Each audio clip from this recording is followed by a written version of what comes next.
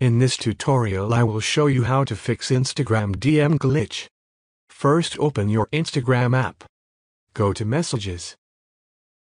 If you notice a glitch here I will show a few methods on how to fix it. Next open Play Store. And check for any new Instagram updates.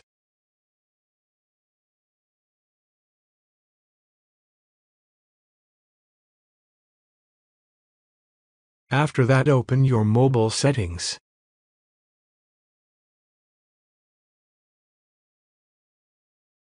And open apps.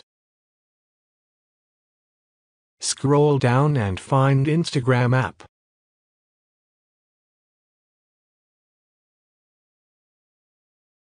Tap to open storage.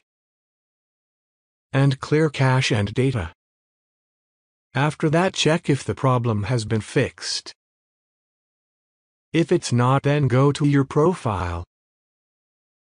Tap on the three lines at the top. And open settings. Here need to switch your account to professional.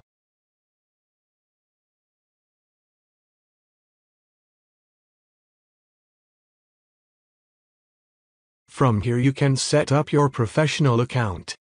Once it's all done, tap to open the settings again. Scroll down and tap on Creator Tools and Controls. Select Account Type. Select the personal account.